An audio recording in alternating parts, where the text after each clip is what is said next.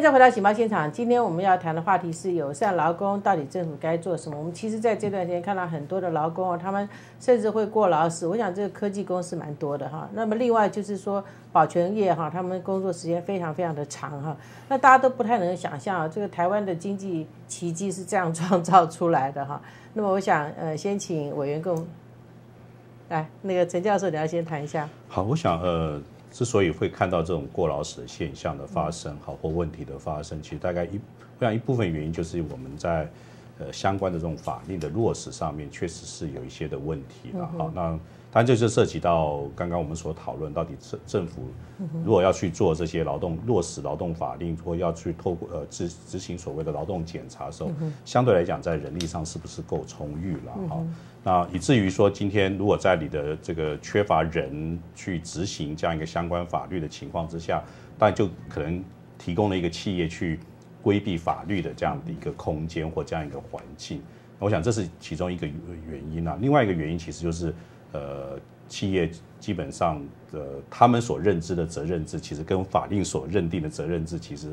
是不太一样的哈，他们认为说，我今天把工作交给一个员工去完成，那个就是所谓的责任制的一些员工。其实严格来讲，这个这个责任制其实它是要经过这个政府机关指定适用的这些职业嘛。但是我想，在过去我们对这，即便是经过这这个中央主管机关指定适用的职业，可以所谓的可以有所谓的责任制的这样的一个工作，其实但是。在相关的一些呃规定上面，事实上可能稍微也太宽松了一些。就像刚刚主持人谈到说，保全业啊这些员工，还有一些所谓的社服机构的这些看护人员，其实经过指定适用八十四条之一的责任制员工，其他的每个月的工作时间相对来讲是非常非常长的。那其实。呃，某个程度上也凸显出来，其实呃，主管机关并没有透过一个所谓的行政指导的方式来够落实有关于说针对这个所谓的责任制的员工该有的这样一个工时，做出一些必要或明确的这样一个规定出来啊。那在另外还有一个很重要原因，其实它还是跟我们工会实力不彰，其实有一定程度的关系啦。那在这样一个怎么讲综合的因素的这样一个影响之下，其实我们就会看到，其实呃劳工的工作时间相对来讲非常非常长，然后进进更是更进一步造成他们所谓的过劳死的一些问题哈。所以我个人认为说，其实大概要呃面对或处理这方面问题，其实还可能还是。某个程度上还是有有赖于政府去落实相关法律的一些规定，对这些所谓的责任制的工作做出一些比较明确的这样的一个规范出来哈。那呃，或许呃，在这些责任制的劳工的这个总工作时数上面，其实必须要去做某种程度上的一些的调降啊。没错，对，否则的话，大概我们会看到，其实这种员工过劳死、劳工过劳死的问题，可能还是会层出不穷。对对。我像前一阵子黄委员也有开呃公听会哈，就是记者会有有关这方，就是说其实也不只是保全，我看也有大学教授也过劳死哈，他有科技界也过劳 死，他这会不会也有一些是自己的因素，就一做他就不不会停了？我想是这样，就是说这个这个过劳哈。这个问题可能导致于，来自于可能是因为工作的时间或太长，或者是说工作的压力本身很大。那不管怎么样，就我们最近看到这个科技业也好，保全业也好，我们的实习医师也好，我们的医师也好，我们的护士也好，好都有这个因为过劳，呃，都因为过劳，然后这个爆肝或者是死亡这样的一个情形。那我们就会看到，就是说这个里面我们看到一个共同，就是这些人的工时都是太长了。嗯嗯。那国家对于一个这个劳工的这个保护是这样的，国家希望有一个健康跟这个有效的劳动力，以至于他在这个工时的这个呃规范上面哈，是用法来保障的。嗯，也就是说我们在劳基法里面，其实保障我们一般人的工时都是两周八十四小时，也就是一周四十二小时。但是呢，有一些人，譬如说在手术房里面的护士。急诊室里面的护士、我们的飞行员、我们的空服员、我们的保全员这一类的这个工工人呢，他是被我们纳到八十四条之一。这些人的工时是国家没有规范工时的保障，由地方政府来决定他们的工时有多长。那像这个呃呃空姐或者是呃飞行员，他们的比较有强的这个工会，所以他们会去。讨讨到一个好的一个比较合理的工时，但是保全员就是一些很弱势的人在做的，所以他们在地方政府在跟这个业者在协商这个工时的时候，就可以给到从两百六十到三百多个小时，一个月哦，一个月哦，哈、如果一个月是三百二十个小时，你给他出三十，一天平均没有假日的，就是一天就是工作十小时。所以在这样的一个一个呃状况之下，我们的这个呃这些人他很容易操劳过度。对，那政府对大部分的人都做了八十四小时两个礼拜的，也就是说一个月大概是一个一百八十六个小时的工时的保障。对一些人就没有规范，而是由地方政府来规范他的工时。我觉得这个是不合理的。如果大部分的人都是由中央政府的法令来规范他的工时，为什么其他的人不是由我们的中央，而是由地方来来那个？那地方常常很容易跟这个业者之间。那我这个议题谈了很久，我觉得非常讽刺的是，我谈这个保全人员的这个工时的时候，开记者会，我们去骂这个台北市政府三百一十二个小时，他们的劳工局还出来振振有词说他们就是没有违法。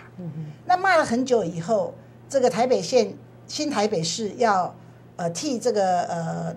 呃保全人员新新认定他们的工时的时候，找了业者，找了工会的人哦，他们工会很弱，去讨论了半天，讨论出来还是三百多个小时。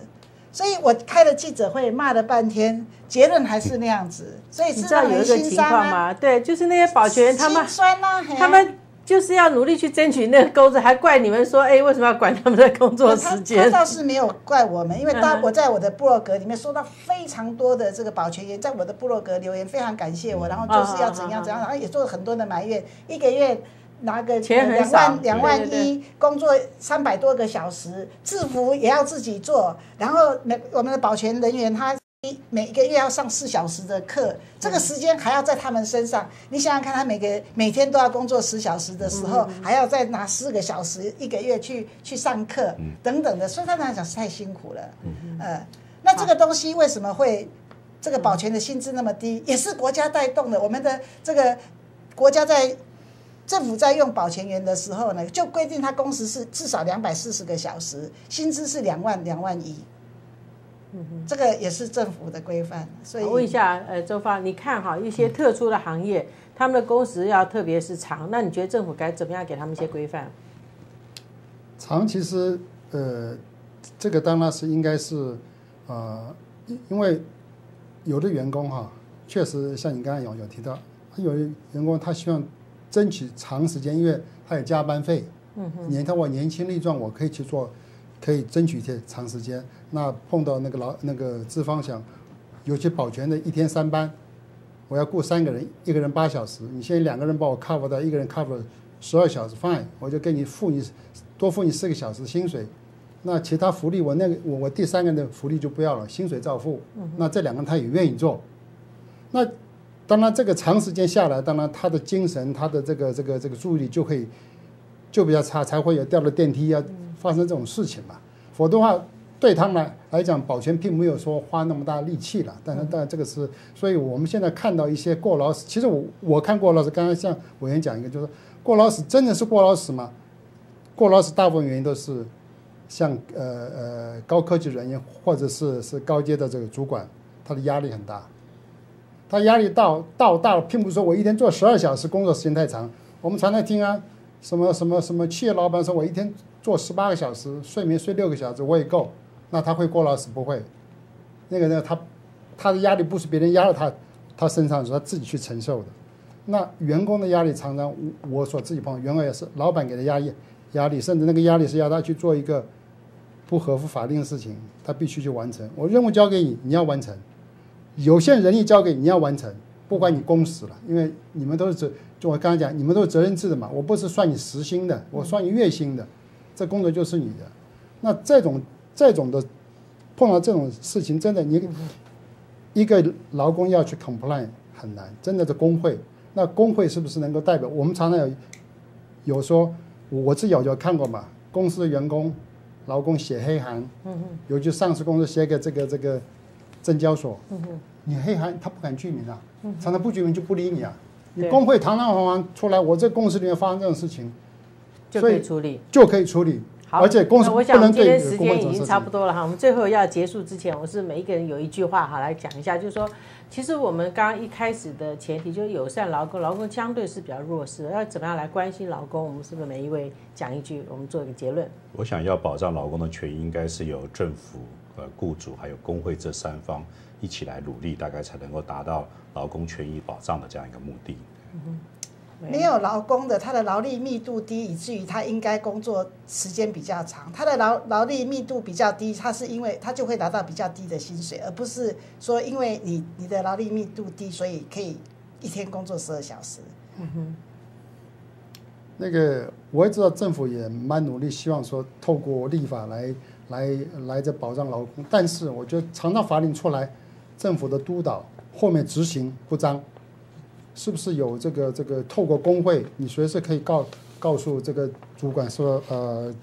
地方政府劳工局、中央是劳委会，你们经常需要去公司去稽查一下。嗯哼好，我们今天非常谢谢啊三位呃这个专家学者跟我们讨论。我想劳工的问题真的是非常非常的多啊，值得我们继续来关心。那么当然，我想在这里也提醒所有作为劳工我们的观众朋友，保障自己的权益。那么资方也是要知道，劳工就是你的财产，好好的爱护他们。我们今天的节目就到这里，非常谢谢各位收看，再会。